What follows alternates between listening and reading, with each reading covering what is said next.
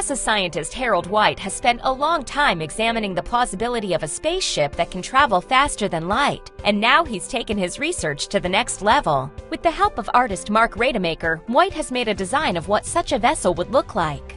The warp drive vehicle is called the IXS Enterprise and does bear more than a casual resemblance to its Star Trek namesake.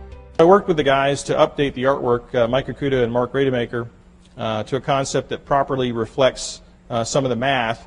Uh, and so you see here the rings are considerably more athletic in this concept. Of course, nobody is quite sure if making a warp bubble is actually possible, but NASA is investigating the matter via ongoing experiments.